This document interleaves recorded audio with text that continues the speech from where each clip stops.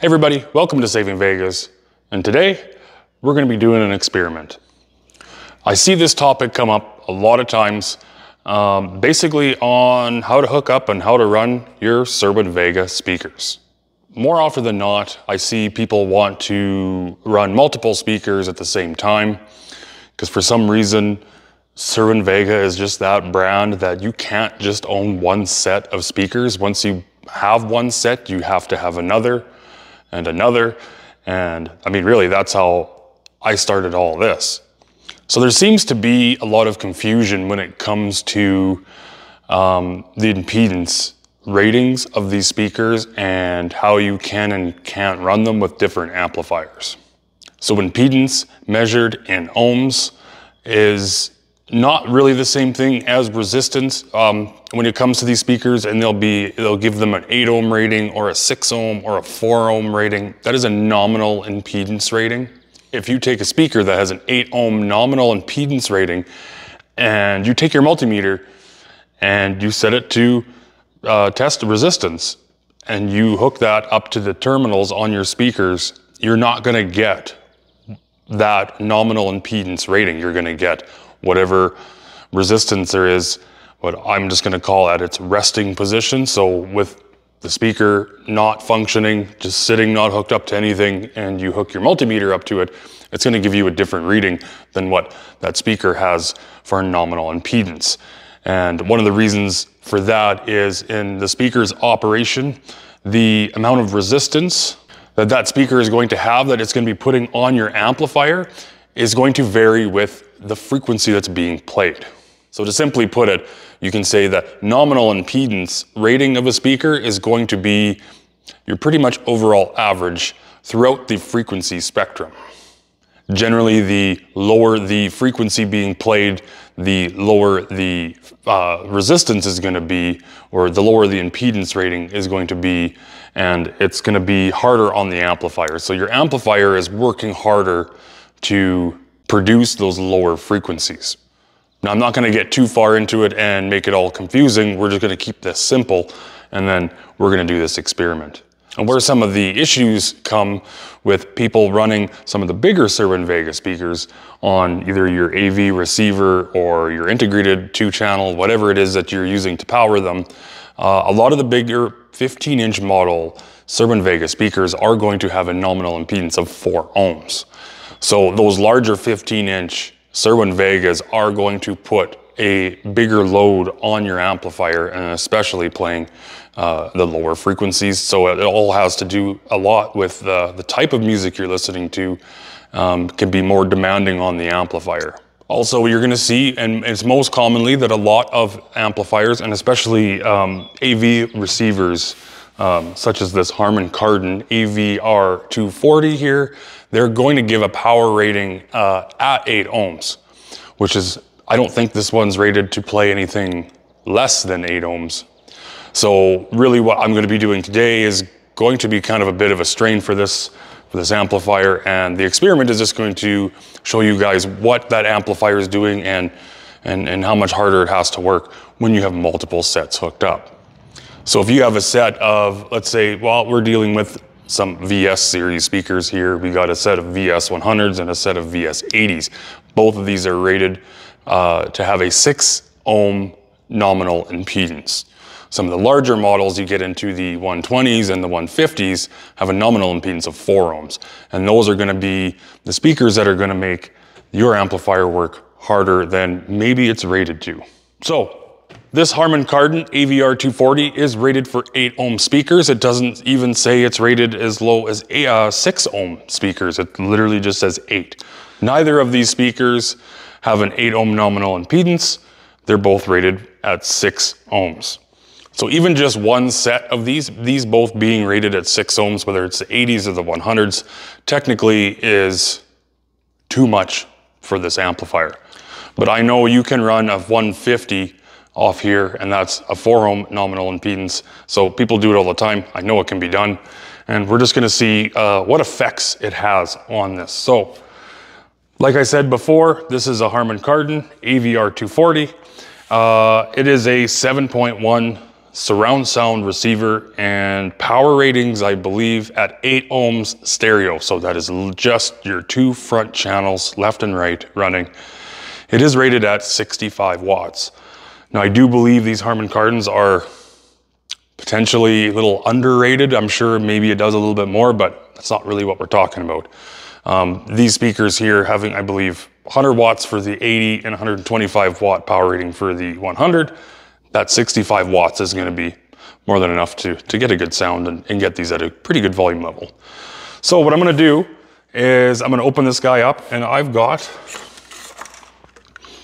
a temperature gauge and the sensor. I'm gonna open this guy up. I'm gonna get that sensor set right in the heatsink and just kind of looking from the top. I've never had this off before, but it looks like it does run right along here. Um, I am going to be setting up my tablet up on top of it as well. I'm going to be running a timer. And basically what I'm going to do, I got a playlist selected and I'm going to run that playlist. I don't know I'm to do 10 or 15 minutes. I haven't really decided yet. One I'm going to do with just the 100s and see what temperature, what the temperature is at after 15 minutes or 10 minutes or whatever I decide. And then I'm going to do it again with all four hooked up. Now, this is a 7.1 channel receiver. It does have the ability to run in all stereo mode. So I could technically run another set off of the surrounds or the rear surround I, and then have that full stereo mode.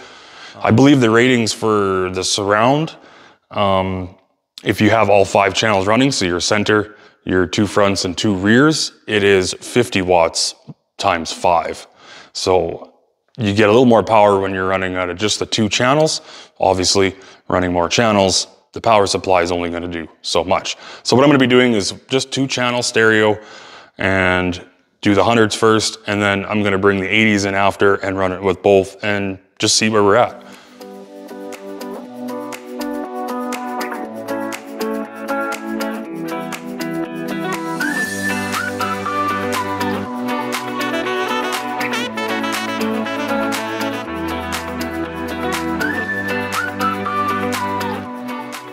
So I think that's what I'm gonna do. I'm just gonna have it dropped in here. So. Kind of run that out that way. And then I'm gonna put the top back on and yeah,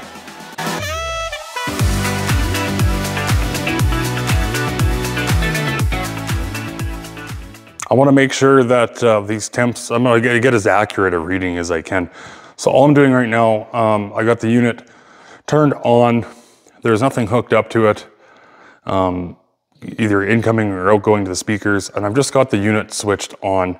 And basically I'm just, um, I'm just letting it sit. I'm just trying to find what its idle temperature is, just so I have the same starting temperature um, before both tests. So probably give it 15, 20 minutes uh, and then I'll know what my starting temperature needs to be for both tests. Well, while this is doing that, I'm gonna show you what happens when you hook up a multimeter uh, and test the resistance of your speaker uh, as they sit. Okay, so we got both um, the 100 and the 80 here. So it's reading 3.8, Let's look at that, 3.8. So they both measure with 3.8 ohms of resistance, which again is not your nominal impedance. But I just thought I'd show you that. So it reads 3.8. So what happens when we hook um, them together? So let's measure, once I hook these two together at the speaker terminal that's going to be going into the amplifier itself, and then we know what the resistance is uh, right at the terminals to the amplifier.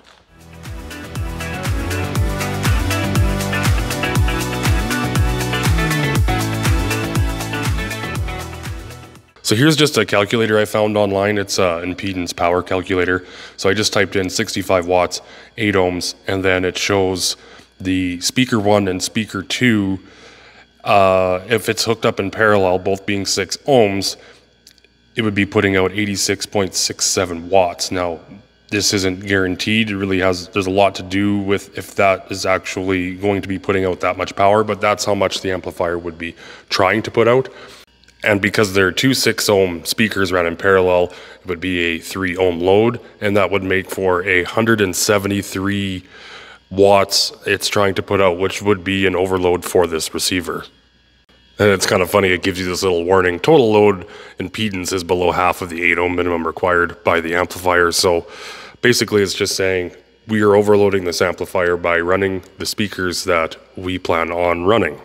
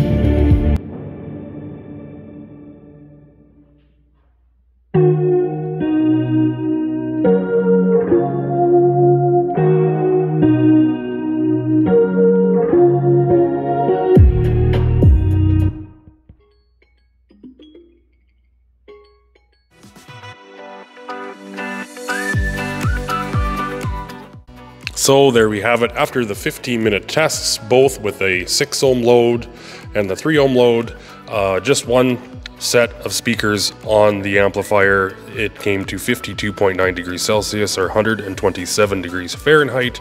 And then with two speakers wired in parallel for a 3 ohm load was 57.9 degrees Celsius and 136 degrees Fahrenheit. So I, this receiver also gives you the ability to run a five or a seven channel stereo mode, and that makes the surround sound channels play in full stereo. I did run a 15 minute test using that function, so you're actually using four channels of the amplifier, so the power rating isn't going to be quite as high as just using two. And you could tell it wasn't as much power and it just didn't have that much control over the speakers and it just didn't sound as good. The temperature after that test with the four channels instead of two was 53.9 degrees Celsius. And uh, it was definitely a lot easier on the amplifier doing it that way, but you are not getting as much power output as you would just using the two channels. So my final thoughts, as for using this receiver to power two sets of Cerwin Vega speakers, not really the greatest. I would recommend not running these speakers in parallel on two channels because you are going to fry something eventually.